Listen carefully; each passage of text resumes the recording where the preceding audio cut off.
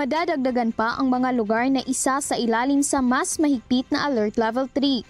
meron po tayong i-elevate to alert level 3 dahil sa pagtaas po ng bilang ng mga kaso ng COVID-19 Simula sa linggo, January 9 hanggang 15, isa sa ilalim na rin sa Alert Level 3 ang Dagupan, City of Santiago, Cagayan, Olongapo City, Angeles City, Bataan, Pampanga, Zambales, Naga City, Iloilo City, Lapu-Lapu City, Batangas, Lucena City at Baguio City. Samantala, pinag-uusapan na rin ng Interagency Task Force na isama sa indicators ang healthcare workforce sa pagdidesisyon sa magiging alert level ng isang lugar. Sa gitna ito ng bumababang bilang ng healthcare workers na naka-duty dahil sa pagdami ng mga kailangan i-quarantine matapos magpositibo sa COVID-19.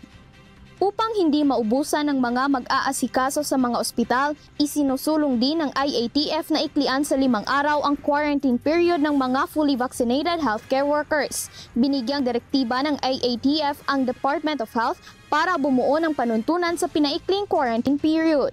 um, yung Hospital Infection Prevention and Control Committees will be authorized. So dito sa mga hospitals, sa Infection Prevention and Control Committees po nila, they will be op- authorized to implement shortened quarantine protocols of five days for fully vaccinated, fully vaccinated healthcare workers. No?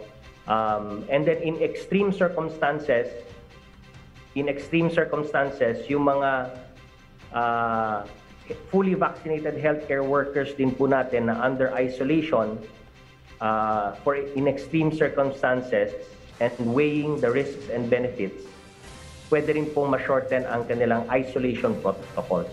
Naliliitan naman si Pangulong Rodrigo Duterte sa 5,000 Special Risk Allowance o SRA ng mga postgraduate medical interns na nagvo-volunteer sa pag-aasikaso ng mga COVID-19 patients. Pero paliwanag ni DOH Secretary Francisco Duque III, iba pa ang SRA sa sweldong natatanggap ng mga volunteers. Mr. President, yung 5,000 that's uh, on top of uh, uh, a much higher compensation. Parang lang ho yun, dagdag lang ho yun doon sa uh, binibigay natin ng mga salaries uh, sa ating po mga healthcare workers. So tama po kayo, 5,000 is uh, a pittance uh, that will not uh, really uh, attract uh, or properly incentivize uh, these uh, volunteers, no? considering the risk that they will face. So a much higher uh, uh, amount uh, is in order. Pero si Pangulong Duterte iginiit na itataas niya ang SRA. to those who are uh, entertaining the idea of getting into the role of volunteers, uh, I, I will raise the amount. Uh, uh, uh, ano, basta total, ano man naman yung pera, ubusin na natin yung pera nitong gobyerno to para sa inyo. Na, kung wala na, maghintay na lang tayo ng lahat.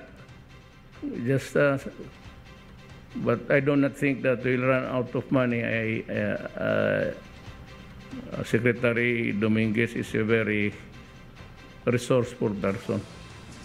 Wala naman tayong, nandyan naman ang World Bank, Diyos ang aming sandigan, serbisyo publiko ang aming pinahahalagahan. Fege apa, humahataw!